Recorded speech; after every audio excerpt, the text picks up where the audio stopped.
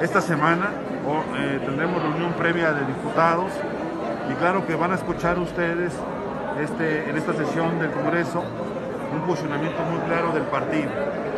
Eh, lo que vimos fue muy lamentable, somos nota mundial. Eh, hoy las imágenes de México del partido de fútbol recorren todo el mundo.